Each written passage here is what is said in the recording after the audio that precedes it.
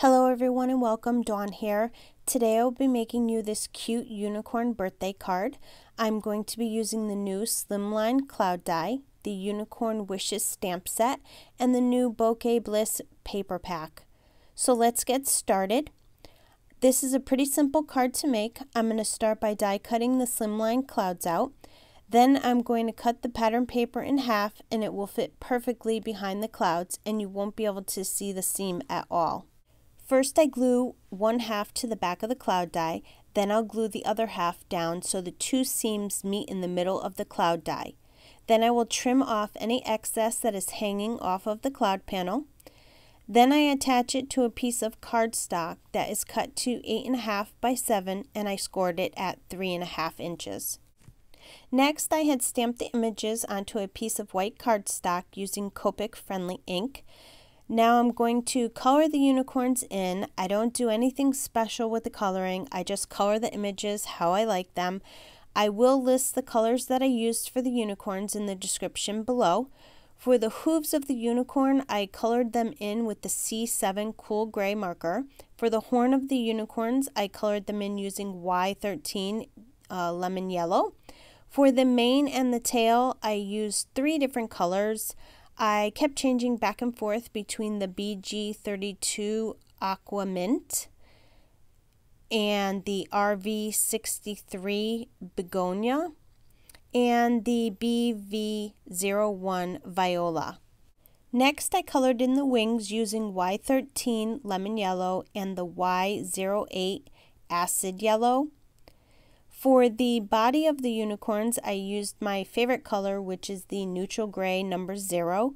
This color is great when you really don't want to add any color, but you want to take away some of the stark white um, color of the paper, and you just want to add a little bit of shading to the card. I wanted to add some sparkle to the unicorns because, well, unicorns are magical. So I added some Wink of Stella to the unicorn's horn, manes, tail, and their wings. Then I cut the unicorns out. I usually fussy cut my images out, but I just got the Brothers Scan and Cut, and I have to tell you, it's the most amazing machine ever and is definitely worth it. I just thought I would mention that. It makes cutting so much faster and easier. Once I decide where I want the unicorns to go, I then place my sentiments in the clouds where I want them. I place my card in the MISTI in case I have to double stamp the words. I remove the images because I don't need them anymore. I only use them for the placement of the words. Using black ink, I stamp the images. I put foam tape on the back of the unicorns and I attach them to the card. Next, I take the little butterfly images that came with the stamp set and I stamp three of them onto the card. Now, when I stamped my last image, I got a smudge on my card. So I was trying to decide what to do with it. I didn't want to throw the card away. I was almost done at this point. So I decided to let it dry completely on the card.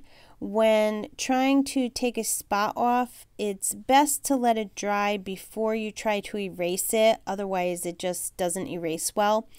So I continued on and colored in my butterflies.